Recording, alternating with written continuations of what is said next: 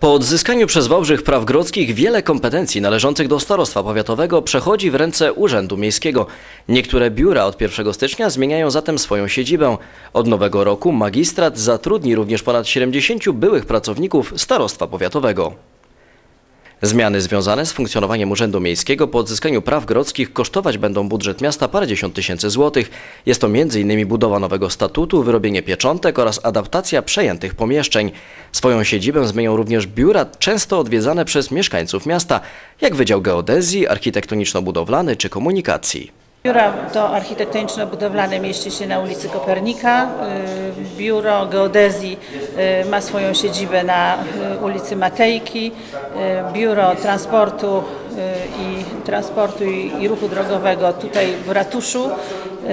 No i to biuro komunikacji, które na pewno, na pewno już od 2 stycznia musi bardzo zdecydowanie funkcjonować.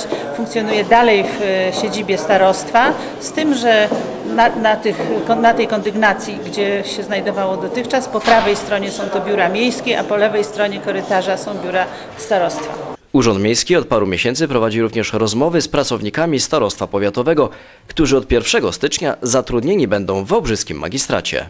Ten zespół przygotował e, i przeprowadził cały proces e, poszukiwania i adaptacji nowych pomieszczeń. Przyjęliśmy, jak Państwo wiecie, prawie 70, Ponad 70. ponad 70 pracowników ze Starostwa Powiatowego, czyli tych wszystkich, które Starostwo Powiatowe nam przekazało. W budynkach urzędów pojawiły się również punkty informacyjne, w których można dowiedzieć się o zmianach w funkcjonowaniu placówek.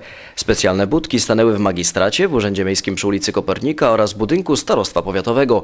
Uruchomiono także trzy numery telefonów, pod którymi dostępna jest infolinia, a na ulice miasta wyjdą osoby, które rozdawać będą ulotki związane z odzyskaniem przez Wałbrzych praw grodzkich.